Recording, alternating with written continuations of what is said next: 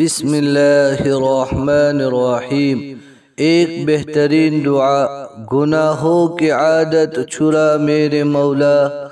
گناہوں کی عادت چھرا میرے مولا۔ مجھے نیک انسان بنا میرے مولا۔ جو تجھ کو اور تیرے حبیب صلی اللہ علیہ وسلم کو پسند ہے، مجھے ایسا بندہ بنا میرے مولا۔ آمین۔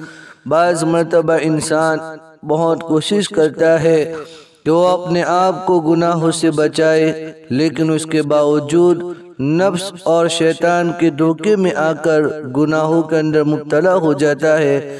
تو اللہ کی ذات سے نا امید اور مایوس نہیں ہونا چاہیے۔ بلکہ جیسے ہی کوئی گناہ ہو جائے، فوراً توبہ کرنا چاہیے اور اللہ سے گر گرا کر دعا مانگنا چاہیے کہ اللہ تو سارے گناہوں سے ہماری حفاظت فرما۔